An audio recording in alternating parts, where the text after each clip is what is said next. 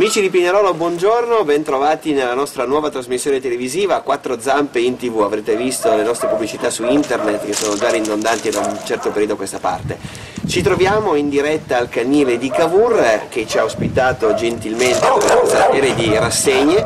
Eh, vedete già i nostri amici ci salutano. Avremo ospiti sia i quattro zampe sia i due zampe e nella fattispecie i nostri opinionisti d'eccellenza. Parliamo di democrazia direttore della struttura. Buongiorno. Buongiorno a voi, grazie di questa iniziativa. Grazie, grazie per averci ospitato e Annalisa Fogli che è una storica dipendente, prima ancora volontaria del canile. Buongiorno a tutti.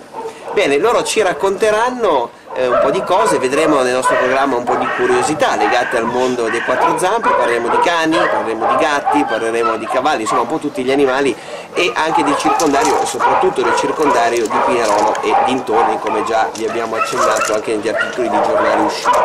Fatemi fare un ringraziamento speciale alla nostra testata giornalistica che è Voci Pinerolese, ci, voi ci potete trovare su vocipinerolese.it, saremo in onda a partire insomma dall'11 marzo e poi andremo avanti per una serie di puntate. Intanto mi sta salutando anche un ospite e lui si chiama? Frollino. Frollino. Frollino è bellissimo, parleremo anche di lui perché daremo delle indicazioni, ciao, sulle adozioni, ci siamo già innamorati e cominciamo a chiacchierare appunto di randagismo. Noi siamo oggi all'interno di una struttura di eccellenza, questa struttura più volte passata anche agli albori di eh, testate internazionali, ricordiamo che è venuta in National Geographic per fare un servizio da voi e so che siete spesso sulla stampa. Ecco, Davino, il canile di Cavour l'abbiamo già visto nel precedente show Parole Pinerolese abbiamo fatto uno special, è un canile impegnato da sempre, ovviamente come tante strutture, nella lotta al randagismo. E che cos'è il randagismo oggi nel nostro territorio? Allora io vorrei prima fare una, un cappello a questa serie di trasmissioni, un cappello diciamo, di carattere legislativo ma non pallosissimo. Io vorrei rassicurare tutti coloro che seguono la voce del Pinerolese che esistono tutte le leggi a tutela del randagismo, a tutela del maltrattamento, a tutela di tutto. L'Italia ha una legislazione efficientissima, però non viene attuata. Per cui noi vedremo come si può fare in maniera semplice a ovviare questa incapacità del sistema a tutelare gli amici a quattro, stran- a quattro zampe, in particolare i cani e i gatti. Il randagismo nella nostra zona è, diciamo, è è più diciamo, una questione di cani vaganti, cioè il randaggio è quello che dopo un po' che è fuori, che gira, diventa proprio magari sta male, si ammala, vaga inutilmente, non si riesce a chiapparlo e diventa randaggio. Il nostro problema è il cane vagante, cioè il cane di casa, di cascina, che esce fuori, gira, gira, si allontana, si perde e questo va a essere diciamo, il nucleo di quello che è il randagismo nel territorio. Il randagismo nel territorio che viene ben controllato perché esistono diciamo, tre belle strutture, la nostra che è la migliore naturalmente. Ovviamente, no, ma non avevamo dubbi. Un bel canile a Bibiana gestito dalla Lega del Cane e un altro canile un po' più brutto strutturalmente ma è colpa del comune, il canile di Pinerolo che è gestito da una sezione della Lida di Pinerolo. Queste tre strutture operano nel territorio per cui quando la gente chiama se può essere qualche inerte, i cani vaganti vengono recuperati abbastanza in tempi stretti. A volte il cane diventa poi magari randaggio perché è di difficile cattura, la gente magari, anche voi ispettore vi arrabbiate perché non riusciamo a prendere al volo il cane, ma non siamo magici né noi né Bibiano né Pinerolo. E quando il cane è spaventato magari anche arrabbiato, eh, bisogna ricorrere a mezzi particolari, che magari vedremo poi dopo come si fa. Quindi le tre strutture assicurano sicuramente al territorio una corretta gestione del randagismo. Sempre parlando del randagismo, nel 91 era venuta fuori una legge no, che aveva abolito diciamo, la morte dei cani in canile, perché i primi cani, i canili raccoglievano e fino al 91, dopo qualche giorno, sopprimevano poi la lotta dei vari ambienti animalisti aveva portato all'eliminazione di questa assurda filosofia ed era stata fatta una legge quadro a tutela degli animali che si chiama lotta al randagismo, randagismo e tutela degli animali, che prevedeva sì lo stop diciamo, alle soppressioni assurde, certo. come zacci nei canili, a volte c'erano anche il bastonate, non gli faceva l'iniezione, no? E per cui aveva detto ok basta, però bisogna far sì che i cani siano riconoscibili, ecco il tatuaggio di un tempo, è che la popolazione canina sia contenuta. Come? Con le sterilizzazioni. Quindi sterilizzazioni, sterilizzazioni e tatuaggio. In quella maniera i canini sarebbero diventati, una volta rimodernati, delle strutture di passaggio. Il cane è fuori, lo prendi, lo poni in canile, chiami la famiglia, la famiglia e allora ottimo circolo. Certo. Ed è successo ieri praticamente, un, bull, un pitbull è stato perso a Villafranca, ci hanno chiamato, siamo andati, abbiamo letto, abbiamo chiamato, il cane in tempo di mezz'ora è stato recuperato e consegnato al domicilio. Se tutti facessero quello che devono fare, di far tatuare o microchippare oggi il cane, poi ne parlerà l'analisi del microchip, non avremmo più neanche diciamo, randagismo, si alzerebbe quasi totalmente. E i cani vaganti sarebbero solo in un momento vaganti e poi sarebbero catturati e restituiti, anche per evitare il congestionamento delle strutture, che non sono come un pozzo di San Patrizio, hanno un tot numero di box e se i cani vengono raccolti sono troppi non ci se la fa. Ecco, cosa possiamo dire Davino a chi dice ah ma sterilizzare il cane no, assolutamente, contro natura, il cane non deve essere né castrato né sterilizzato, come rispondiamo a questo che evidentemente è un problema? Sì, lo analizzo. Annalisa. Come rispondiamo? Rispondiamo che si può pensare che sia contro natura, ma negli ultimi anni effettivamente i cani e i gatti sono diventati compagni di vita e noi modifichiamo la loro vita che era quella naturale. Quindi dobbiamo preoccuparci anche del loro benessere. Nel loro benessere rientra anche l'evitare malattie che sono portate dall'essere interi si dice, vuoi il cane che scappa e lì torniamo al discorso del randagismo perché la metà dei cani che recuperiamo in questa stagione sono maschi interi scappati per correre dietro alle femmine in calore. Certo. Per questo scappano e si fanno investire dalle macchine, vanno a litigare con altri cani, quindi rischiano comunque di farsi, litigate, male. Esatto. eccole, ma è normale, eh? non, è bravissimo, ma è normale che facciano così. E, e, tanto vale anche per le femmine comunque perché tutto il discorso ormonale che si crea nei cani e nei gatti interi porta sul lungo termine spesso a patologie tumorali. Eh, ecco, vedete amici, insomma parliamo di cose importanti. Sì, molto importanti, non è soltanto l'evitare la cucciolata indesiderata che è molto importante perché poi i cuccioli indesiderati finiscono in canile certo direttamente o se meno, va bene. se va bene. Se va bene, perché molto spesso vi capita di trovare nella spazzatura, sì, buttati per la strada? Sì, quelli che troviamo, quelli che trovate. spesso c'è una mentalità ancora pessima per cui il cucciolo non voluto viene brutalmente eliminato con metodi poco umani e poco civili. E parliamo anche del territorio, ovviamente, sì, giusto? Sì, beh, ovviamente, ovvio, perché le telefonate che si ricevono e si inizieranno a ricevere da qui a un mesetto, perché più o meno le tempistiche sono quelle di eh, la mia cagnolina è rimasta incinta, otto cuccioli, non so a chi darli, li prendete?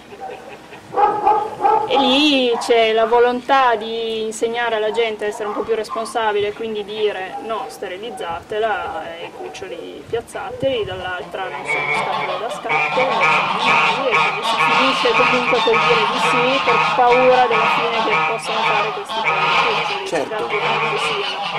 Quindi è importante la sterilizzazione per evitare un randagismo che si viene poi a creare, per evitare di riempire i canili che già lo sono e quindi tanti cani come lui cercano casa e per evitare patologie future, perché poi fa male quando un cane di 10-12 anni si ammala di un tumore alla prostata nei maschi, di tumori mammari nelle femmine, che sono tutti tumori a base maligna, certo. recidivanti, quindi certo. magari si opera ma tornano nel giro di poco e si piange poi un animale prima del tempo, quando si Certo. potrebbe prevenire ed evitare, perché la sterilizzazione abbatte quasi del tutto il rischio di incorrere in queste patologie. Ecco, vedete, quindi non abbiate paura amici, rivolgetevi al vostro veterinario, ma la domanda che spesso ci fanno no, è questa, Davino, quando si prende un cane, che cosa dobbiamo fare? Cosa andiamo incontro? A quali spese? A proposito, ah, devo sterilizzarlo, dovrò microchipparlo, chissà quanto mi costeranno, lo prendo perché ho paura che incida sul bilancio familiare.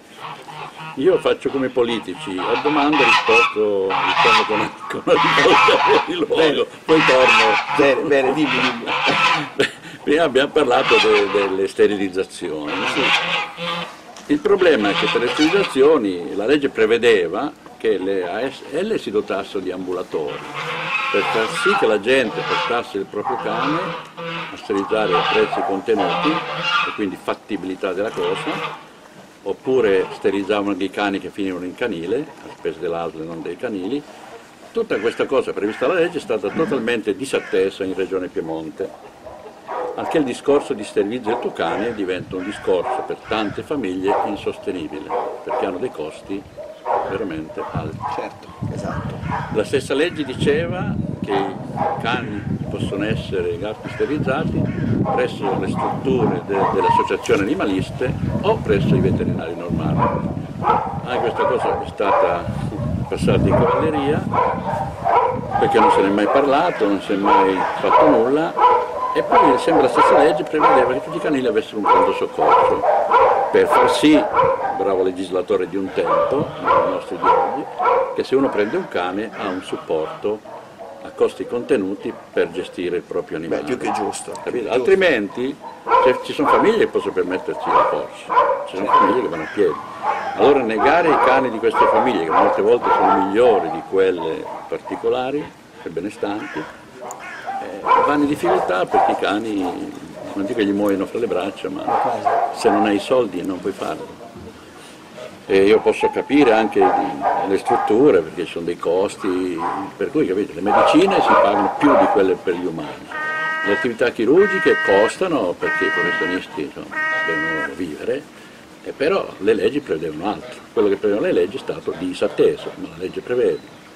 Allora noi per il randagismo in particolare, eh, anche l'EMPA Torino lo fa, ci siamo dotati di un ambulatorio autorizzato, come dice la legge, e abbiamo lanciato una campagna permanente di sterilizzazione a bassi costi. Abbiamo sterilizzato in due anni quasi 2000 animali, fra gatti e cani, per evitare di vedere i randagi, di vederli schiacciati dalle macchine. Stamani Annalisa ha raccolto un affare nero, che forse era un gatto sotto una... Eh? E quindi, bon, quindi le leggi ci sono, ma anche in questo contesto del contratto e randagismo il sistema non risponde. Allora ci sono le iniziative private di gente che ci si sbatte e qualcosa si fa. Non tutto, perché come appelle a cazzo di leopardo. Quindi il randagismo, ripeto, dovrebbe essere sterilizzazione, un tempo tatuaggio, dal 2005 il microchip. La tua domanda qual era? La mia domanda era questa, io prendo un cane e allora che cosa appunto devo fare? Prima cosa, quando prendi un cane... Dove lo prendo prima cosa? Lo Allora, prendo ovviamente in canile. Lo prendi in canile, lo puoi prendere in cascina perché ti dire che vogliono dare un cucciolo, ma a premessa di chi prende il cane c'è il concetto del microchip, che dirò lei. Annalisa, microchip, perché, per come e quanto mi costa? Allora, eh, premessa fondamentale, il microchip è obbligatorio, perché sembra incredibile, ormai sono 11 anni che esiste, 11 anni che è obbligatorio, ma la gente continua a non sapere che esiste e che è obbligatorio. Quindi continua ad arrivare gente con cani anche ormai ben adulti senza microchip. Signora, come mai? Eh, Così, ma è obbligatorio, non lo sapevo. Va bene. Sì, a un po' punto. difficile dire non lo sapevo, eh. Sì, però vogliamo crederci. In ogni caso la legge dice che chi ha la cucciolata, quindi chi ha la mamma dei cuccioli, è tenuto a microchipparli e a darli via microchippati, perché il microchip va messo entro i 60 giorni. Certo. Questo automaticamente comporta che io non do via un cane prima dei suoi due mesi di vita. Come tanti fanno, tanti allevamenti senza scrupoli. Poi parleremo anche degli allevamenti. poi eh. i cani ovviamente. Però dato di fatto questo, che chi ha la cucciolata deve farli microchippare prima di darli via, è ovvio che chi adotta un cane deve preoccuparsi che sia stato Certo. microchippato, prenderlo già col microchip.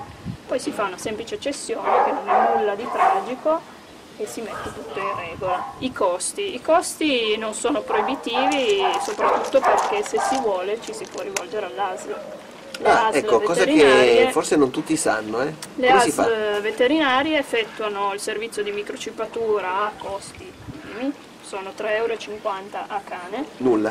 che si pagano con un bollettino. Contro i veterinari che sono circa 30-35 Sì, euro. all'incirca, sì, un libero professionista, ovviamente la differenza è che il libero professionista magari viene anche a casa vostra a mettere il microchip anche di sabato mattina, è ovvio che un servizio veterinario pubblico non può fare una cosa del genere. Presso la nostra struttura l'ASL applica il microchip il martedì pomeriggio. Ah, ecco, Dalle quindi lo offrite come 14.30 alle servizio. 16, sì, su prenotazione si chiama o in ASL o qui da noi in rifugio. Diamo il numero? 0121 600 037. Rispondete da che ora a che ora? Mm, Noi ci siamo praticamente dalle 8 alle 18, poi comunque sul numero fisso vengono dati i numeri di cellulare su cui eventualmente potete trovarci se ci chiamate in altri orari ovviamente. Si prenota, si porta il cane, carta d'identità e codice fiscale di chi si interessa al cane e si mette il microchip. Bene, allora dopo la pubblicità rientriamo e presentiamo anche lui, vi chiederò ancora un po' di cose sugli allevamenti, sulle speculazioni, eccetera. A fra poco, grazie. Amici bentornati, siamo ospiti del Canile di Cavour, come vi ho raccontato prima della pubblicità, anzi come ci hanno raccontato loro prima della pubblicità, prima di prendere un cane coscienziosamente dobbiamo procedere alla microchippatura, giustamente Annalisa. Sì, dobbiamo preoccuparci in realtà che già lo sia microchippato, perché sia che lo prendiamo dal contadino perché povero cane vive, rischia di andare a vivere magari legato a catena, piuttosto che eh, in mezzo ad altri 10.000 cani e quindi non gestito così bene, o in un rifugio, ma dai rifugi i cani escono tutti microchippati, ci mancherebbe, o da allevamento, perché poi a volte allevamenti meno seri di quello che dovrebbero essere fanno arrivare Intanto Oh, c'è una, c'è una draga. una- esatto, bellissimo.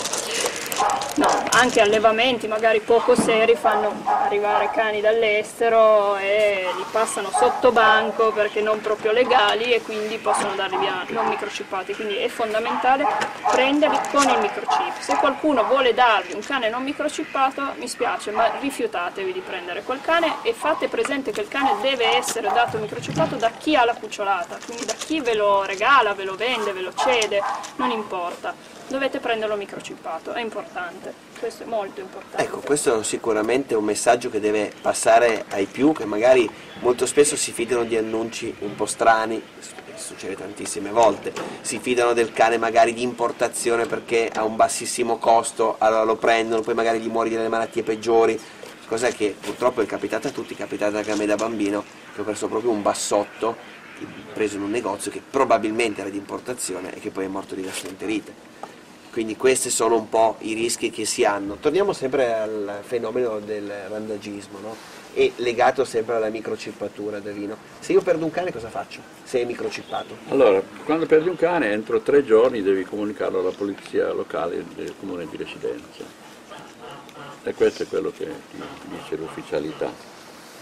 Poi devi darti da fare a telefonare subito al canile competente per territorio e noi consigliamo anche alla gente di chiamare gli altri canili perché i cani si muovono eh, e poi di eh, porre degli avvisi con grafica nella zona di, di raccolta unificata dei rifiuti, alla, alla farmacia, davanti al supermercato, dando notizie di questa perdita e dando i, i tuoi numeri di telefono, possibilmente anche la foto del cane, e così allerti tutto il territorio.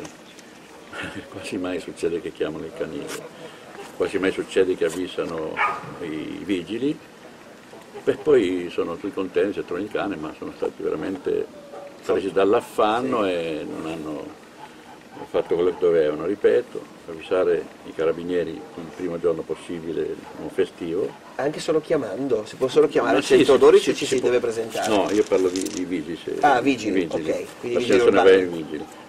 Invece l'allarme puoi anche darlo giustamente come se te, dire ai carabinieri, guardate ho perso un cane, ma non lo so se qualcuno segnalasse, perché poi ti dico cosa fare quando trovi un cane, Eh, per cui è importante riempire il territorio di segnalazioni. Noi avvisiamo anche queste persone di avvisare i vigili dei comuni che circondano il proprio comune perché siccome si muovono i cani, a volte c'è inerzia nei fare i controlli, se tutte le polizie locali del territorio sanno che questo cane si è perso a Cercenazzo, ma può arrivare anche da Scalenghe, può arrivare da, da- Certo.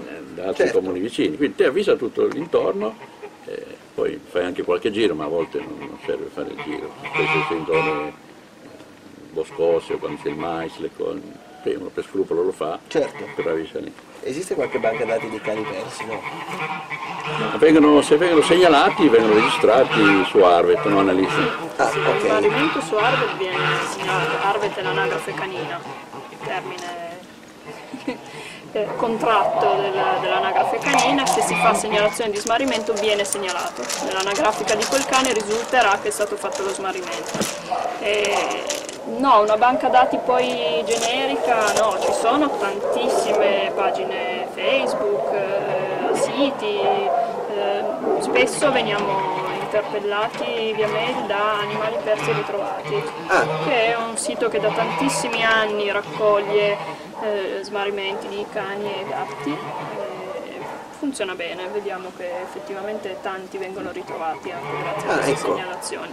E I social sicuramente aiutano. Certo, Facebook certo. ormai ha una diffusione enorme, quindi anche lì noi diciamo sempre a chi smarisce un animale, se possibile, di fare un annuncio su Facebook, condividerlo anche con noi e, e aiuta sicuramente. Ecco, noi abbiamo parlato di cani, parliamo di gatti. Perché la microchippatura non è obbligatoria per i gatti? Chiedi a me per i gatti, lei e Lei. i gatti del rifugio di Cavour. Perché Annalisa oggi non si microchipano i gatti? Ma è un discorso che mh, ufficialmente non, non si è mai fatto, nel senso se dovessi dirti una motivazione legale per cui non si fa, non la so. Una motivazione che mi può venire in mente è che il gatto, uno, non crea lo stesso problema sociale del cane, Certo, per cui non si è visto l'obbligo di di normarlo. sì, di mettere Certo. delle regole, perché il cane crea timore, il cane se può morde fa paura e allora per questo è nata tutta una questione di canili convenzionati, di eh, microchippatura e tutto quanto. Sul gatto no, perché il gatto si fa la sua vita, non si è mai sentito di gatti che hanno aggredito l'uomo e gli hanno fatto del male e quindi ci si interessa tanto. Però esiste, volendo, la microchippatura felina. Stessi costi quella canina? Per il momento non proprio, nel senso che le ASL effettuano la microchippatura sui gatti soltanto se si richiede il passaporto. Ah, Quindi se si deve andare all'estero col proprio gatto e quindi si è obbligatori a fare eh, il passaporto, allora l'ASL applica il microchip agli stessi costi. Altrimenti no. Altrimenti no, altrimenti ci si rivolge ai liberi professionisti ai costi che dicevamo prima, Certo. quei 20-30 euro sicuramente un libero professionista chiede per il microchip. È un po' meno diffusa per il momento, comunque anche a noi sono poche le richieste arrivate per i microchip. Inizia qualcuno effettivamente a chiederci, noi abbiamo intenzione eh, di microchippare i gatti che arriveranno eventualmente nei villaggi, quindi che entreranno a far parte un po' dei nostri stanziali, quindi quei 5-6 sfortunati che abbiamo qui e che nessuno ha mai voluto, e un po' per quelli che poi andranno in adozione, quindi d'ora in avanti cercheremo i gatti che arrivano, che poi troveranno casa, di mandarli a casa questo è interessante. E allora l'altra domanda, sempre rivolta ai gatti, perché abbiamo parlato sempre di cani, quindi parlo ancora Sì, con lei dei gatti, no? Ma allora, se io perdo un gatto cosa faccio? Eh, se si perde un gatto purtroppo non è semplice come per un cane. Il cane ha il microchip, il cane viene portato in canile, al cane si dà un po' più di attenzione da quel punto di vista. Il gatto, effettivamente ognuno di noi, se vede un gatto che gira là in un prato, non si preoccupa di dire certo. oh mio Dio c'è il gatto vagante recuperato. Di solito il gatto finisce a essere recuperato se è ferito, se va inopportunamente a stanziare nel cortile di qualcuno che è infastidito dalla Certo. presenza, cerca di sbolognarlo fondamentalmente qualcun altro. Quindi se, ci- se si perde il proprio gatto funziona moltissimo il corso dei volantini. Certo. Foto del gatto dove non si è smarrito quando telefoni e quant'altro e ovviamente si deve cercare anche dai veterinari si chiamano i veterinari perché se il gatto è stato ferito e magari un buon cuore l'ha comunque soccorso il discorso che non c'è ancora la microchippatura Certo. non si può sapere chi è Certo. quindi si deve chiamare i veterinari di zona e chiedere se per caso è stato portato Ecco, a proposito di ferimenti e di incidenti, eh, vi dicevo prima che stamattina hai recuperato probabilmente un piuttosto, ecco, un gatto vestito eccetera. Se io investo un gatto e lo porto nella struttura perché ho buon cuore, mi auguro, lo porto in una struttura che se ne può occupare eccetera, chi paga le cure? Una domanda senza risposta. Sempre per il discorso che giustamente diceva Danilo, ci sono fantastiche leggi con meno fantastiche attuazioni, nel senso che la clinica stessa con tutta probabilità nel momento in cui arriverete lì col gatto ferito vi dirà e chi paga? Perché alcuni comuni virtuosissimi che meritano tutto l'encomio, hanno già fatto convenzioni sui fatti, preoccupano. In alcuni territori viene, viene recuperato un gatto ferito, portato alla clinica convenzionale, fra- funziona un po' come quei cani. Pinerolo come funziona? Convenzione c'è. Pinerolo? Su Pinerolo ci sono discorsi contrastanti, perché c'è chi dice che la Lina Pinerolo ha una sezione gatti e se ne occupa, c'è chi ci telefona dicendo che non ha avuto nessun aiuto, quindi io non entro nel vero, nella misura in cui anche noi per quello ci troviamo in difficoltà di fare. Non ci siamo mai tirati dietro di fronte al gatto ferito, in anni ne abbiamo sempre presi, almeno del nostro territorio di protezione. Certo, quindi almeno portato, portatelo da loro, non abbiate paura, che magari uno dice non lo raccolgo perché ho paura di spendere, no? perché sai, a volte... Grazie. Io dico, eh, so che voi poi fate tantissimo, però magari la gente ha paura di dire no, ho paura se non raccolgo poi mi fanno, mi chiedono il conto, no? Questo è un altro, sicuramente dei gravissimi problemi. È ovvio che un minimo di coscienza bisogna averlo. Eh, se si vede un animale ferito, gatto, cane, fosse anche un capriolo piuttosto che una volpe, comunque qualcosa bisogna fare. Ma per coscienza anche, perché non vogliamo pensare di essere Certo. migliori di alcune bestie e quindi E vi ricordiamo che c'è una legge apposta, eh, proprio per il soccorso degli animali, ricordatevi che oggi non soccorrere un animale è penale, amici, eh, per cui insomma, occhio a queste parole che sono molto importanti. bisogna, bisogna assolutamente mettersi anche la mano sul cuore e intervenire perché io la, la penso così, questo è il mio pensiero, ma vorrei che se fosse il mio gatto o il mio cane a rimanere ferito malauguratamente qualcuno non si girasse dall'altra parte, vorrei che si fermasse e si preoccupasse di quel che non è suo ma potrebbe essere di qualcuno. Io questa mattina che ho recuperato questo gatto questo bellissimo gattone nero, maschio intero ovviamente, ucciso sul colpo, spero, dalla macchina che l'ha investito, ho comunque fatto un appello su Facebook perché voglio pensare che un gatto così bello avesse una famiglia che lo stia cercando e che se vuole può almeno sapere che fine ha fatto e dargli una sepoltura. Perché io vorrei. Certo, se perché la maggior parte delle volte, è vero, anche per i cani succede, in quest'estate abbiamo curato alcuni appelli anche su Facebook, personalmente anche giornale, eccetera, per cani smarriti. E c'è stato il caso di un cane smarrito progelato, tra l'altro di un mio caro amico, del quale non si sa più nulla. E sembra veramente stato inghiottito dal niente, appelli fatti, di tutto. Non era purtroppo microchippato ed ecco questa è una delle conseguenze, quindi non avere più notizia nemmeno di un'eventuale sepoltura, cioè non si sa più che fine ha fatto, è sparito nel nulla. E si rimane col dubbio e con quell'angoscia un po' che ti pervade, già la perdita è brutta ma avere anche l'idea di non sapere più che fine abbia fatto il nostro amico a quattro zampe, forse ancora peggio, no? Sicuramente, sicuramente è ancora peggio, lo dico anche per esperienza, ahimè, perché io un gatto, l'ho smarrito così, mi auguro che sia stato adottato da un'altra famiglia, ma non lo potrò mai sapere, quindi sui cani ancora di più, perché i cani dovrebbero essere microchippati, quindi se sono microchippati effettivamente, poi per carità, magari c'è chi ignora tutta questa cosa del microchip, trova un cane bello, buono, bravo, se lo tiene, se E fine discorso. finito il discorso, nessuno lo porterà mai da un veterinario, nessuno si preoccuperà di controllarlo, però nella maggior parte dei casi anche i veterinari quando si trovano con un nuovo animale Dovrebbero controllare, ma controllare. non lo fanno probabilmente. A volte no, Ecco. probabilmente a volte no, perché, Perché altrimenti succede- forse ci sarebbero delle denunce, no? Davino, cioè, io arrivo, prendo, arrivo con un cane nuovo, vado al veterinario, dico, ah questo è mio, lo verifica? A volte sì, a volte no, non si può dire.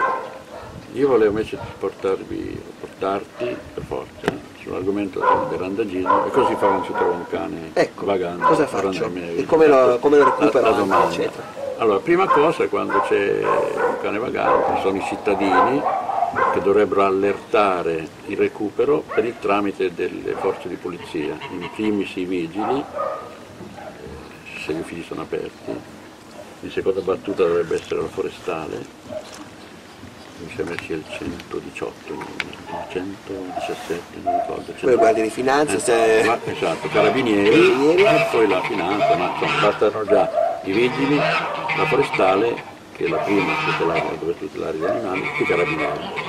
In genere si parte sui carabinieri perché il 112, viva Dio, Certo, funziona ed è presente. hanno fatto bene a mettere la forestale insieme ai carabinieri. I tempi sono un po' lunghi, ma la fusione mi sembra opportuna. Quindi si deve allertare il carabiniere o il vigile per far sì che questi, che hanno tutti gli elenchi dei canili competenti per territorio, attivino il recupero del cane. Questo sembra facile, il cane, chiama. Il- Il problema è che tante volte il cittadino che si allarma e si agita ha visto un cane che magari gira per la campagna tranquillo. E non sa cosa fare. E da questo ripartiremo perché io devo lanciare la solita pubblicità. Ti interrompo sempre, Vabbè, no, no. A fra poco, grazie. Amici bentornati, vi danno bentornato anche gli altri amici a quattro zampe che sono dietro di noi che abbaiano notevolmente, ma noi speriamo che ci sentiate. D'altronde, scusate, ma l'ambiente è questo, quindi mm, insomma, notoriamente bello, con qualche rumore.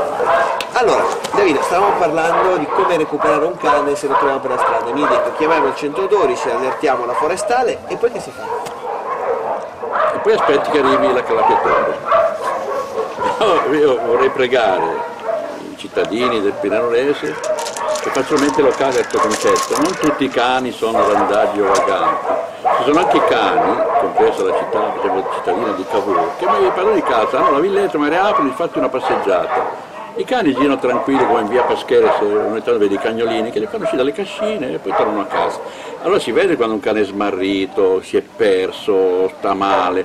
Allora in quel caso allertare carabinieri. Ecco, quali sono i segnali allora di un cane smarrito? Cioè, come, faccio, come faccio a capire se un cane si è smarrito? Perché magari ho paura a volte anche di chiamare ma forse esagero, no? Eh, beh, solitamente i cani che si fanno il giro, conoscono il territorio, sono baldanzosi. Sono sicuri di sé e li si nota, che sono gli scugnizi del quartiere, no? E quindi è casa loro, sono belli tronfi, tutti trotterellanti, felici. Il cane smarrito è smarrito, nel vero senso della parola, cioè lo si vede che è intimorito dalla- da un ambiente che non conosce comunque, magari non è detto che sia stato preso e buttato fuori dalla macchina, perché fortunatamente proprio casi così ormai se ne vedono meno di un tempo, però è anche vero che può essere fuggito da casa per paura, vuoi un temporale, vuoi dei botti, varie cose e quindi si è andato a trovare in un posto che non riconosce come sua casa Certo. e, e non riesce a tornare a casa, quindi un cane eh, appunto intimorito dall'ambiente che gira senza sapere bene dove andare, un cane che si vede sofferente, quindi molto magro, molto denutrito, o proprio sofferente perché magari addirittura investito e quindi una zampa rotta piuttosto che un si riconosce da questi fattori, perché è un cane sofferente. Ecco, agganciarlo con un guinzaglio e aspettare qualcuno. È sempre una buona idea. Se il cane si fa avvicinare, sì, nella misura in cui soprattutto se si chiama un- i carabinieri o chi di dovere e interviene un canile, il canile non ha la bacchetta magica. Certo. Quindi non si può pensare che il canile riesca con uno schiocco di dita a prendere un cane che trotterella in mezzo a un campo. Quindi se si riesce a collaborare in questo senso molto meglio, sia per l'animale che comunque per noi che interveniamo a prendere quel cane e, e non lo facciamo spaventare correndogli dietro per riuscire a prenderlo. Quindi se è un cane così docile che si lascia avvicinare è una buonissima cosa quella di aspettare l'intervento dell'accompagnatore insieme al cane, così da essere sicuri che non si faccia del male, non possa scappare impaurito e farsi investire da un'auto e riuscire effettivamente a metterlo in sicurezza Eh, metterlo in sicurezza perché non dobbiamo pensare alla calappiatore come nei film americani che arriva a prendere la porta della camera gas cane, no? Davide, com'è la storia? Il, il problema de- de- de- di questa attenzione al tipo di, di cane randaggio, vagante o che si fa la sua passeggiata, perché lo vogliamo sottolineare come appena fatto Annalisa? Perché ci dispiace intervenire prendere dei cani che hanno, magari hanno una bella famiglia, cattiva perché non lo hanno microchippato, e noi catturiamo un cane felice, non microchippato per i gnavi della famiglia, per un canile, e queste famiglie ancora peggio non lo cercano.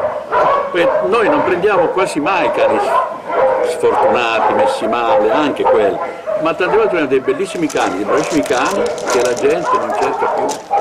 E li abbiamo presi qui.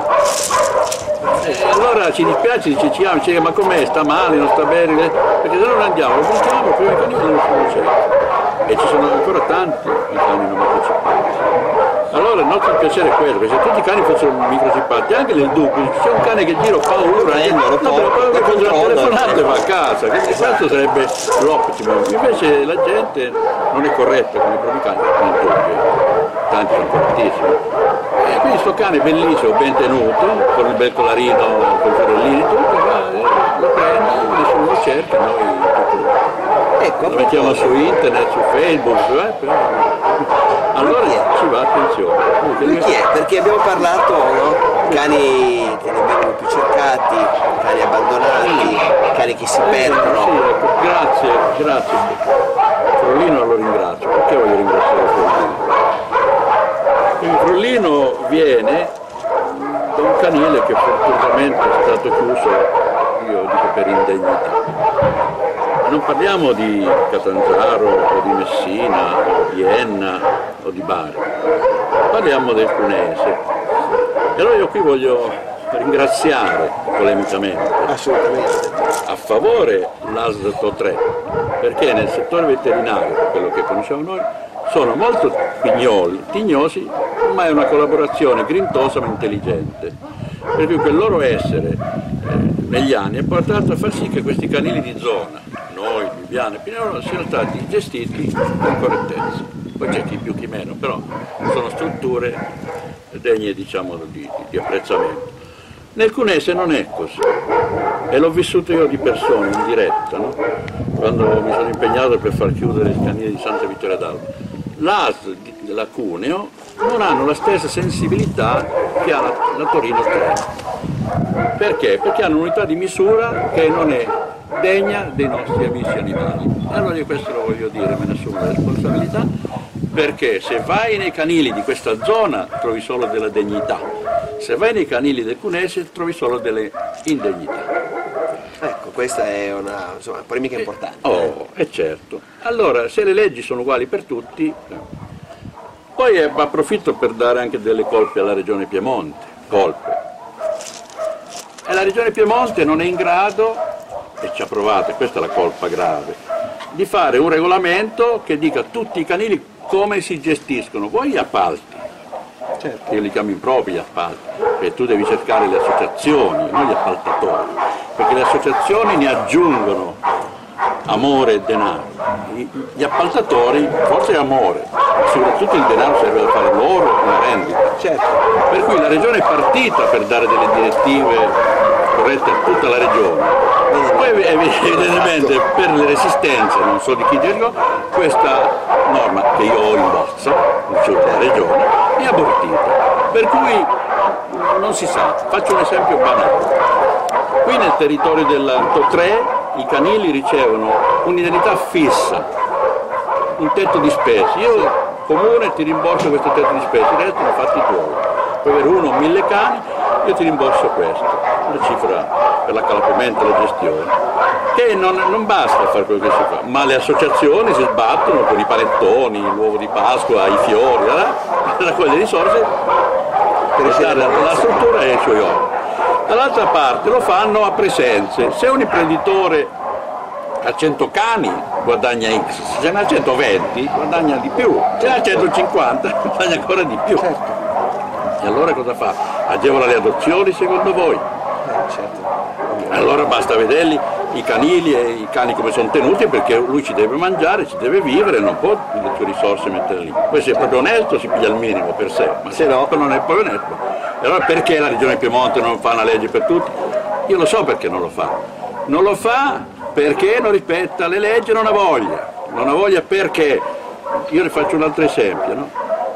Io sono membro del comitato tecnico regionale per la tutela degli animali lo prevede la legge regionale, eh, la 34 del 93, ma per cinque anni ho bisticciato, ho insultato, finalmente lo hanno costituito questo comitato, doveva essere di guida e di indirizzo a tutte le tematiche in divenire per la tutela degli animali d'affezione.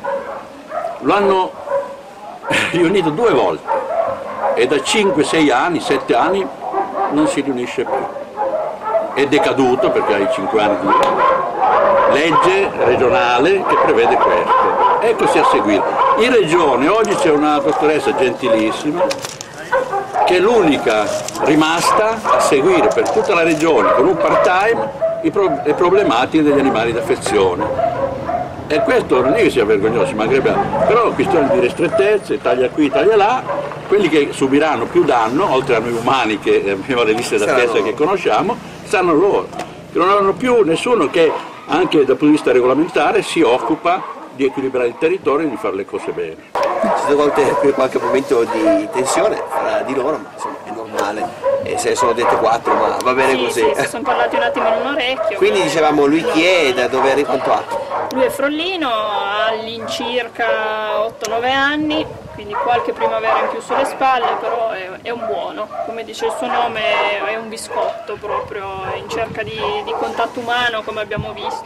Sì, si è abbracciato a, a, tutti noi tutto il tempo, quindi è un buono nella sua versione primavera-estate in realtà perché lui è più lungo di pelo, quindi adesso è tolettato, ripulito, è, è pelosone, quindi immaginatevelo con una bella chioma ricciola. È in adozione. Ed è in adozione assolutamente, cerca casa, cerca una casa con una bella coperta calda che lui ama tanto e passa le ore a dormire fondamentalmente. Eh, vedo già il viso della nostra regista che secondo me fra un po' parte, in, parte con l'azione di adozione. È, fantastico. Sì, è proprio... Anche un po' di lavaggio, bravissimo. Sì, sì, sì, anche il tolettatore si è complimentato perché è stato fermo, immobile come una star. Qui se volete adottarlo chiamate numero, di nuovo ridiamo. Sì, 0121 600 037. Venite a trovarlo, siete aperti al pubblico da che ora a che ora? Tutti i giorni dalle 9 alle 12 e dalle 14.30 alle 17.30 che poi diventeranno le 18 nel periodo estivo quando la luce ci accompagnerà. Chiedete tranquillamente di Annalisa, se non ci fosse lei ci sono tanti altri volontari all'interno del canile che ve lo faranno vedere e insomma magari avrete trovato un nuovo amico o per vostro figlio, la cosa bella sarebbe anche questa, avete un bambino piccolo, portatelo in canile, portatelo a scegliere un amico. Lo so, parliamo ancora di... Sì, c'è spazio, c'è spazio. Davino mi dice che deve ancora dire cose importanti, ma lui così lo conosco da tanti anni. No. Allora, Davino, allora hai trovato questo cane e io dico, è vero, bisogna telefonare ai carabinieri, telefonare ai vigili, telefonare... ma queste entità che un tempo si pensava facessero ma non è fattibile, un pre-indagine se il cane è padrone o non è padrone, alla fine si perde tempo a dire a chi telefono, dove telefono, chiami e il carabiniere cosa fa? Ci chiama e dice un cane in via Rossi a Pinerolo. Certo. Allora, nel nostro territorio chiamate il sottoscritto, il canile, 339 45 66 332, noi siamo aperti giorno e notte, siamo attivi però attenzione, ci va anche della collaborazione, perché se te a Cantalupa trovi di notte alle due un cane che magari sta facendo una passeggiata, devi anche cercare di, magari lo tieni in cortile per la notte e al mattino veniamo, perché non siamo onnipotenti, siamo in due cristiani che fanno questa attività tutto il giorno, tutta la settimana, 365 giorni l'anno. Allora se si collabora è un servizio attivo che si toglie dalle, dalla burocrazia è in diretta cittadino, ci chiama e noi interveniamo nel più breve tempo possibile,